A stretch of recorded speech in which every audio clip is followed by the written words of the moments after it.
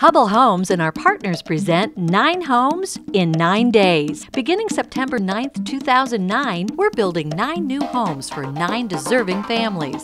It's Extreme Makeover Hubbell Homes style.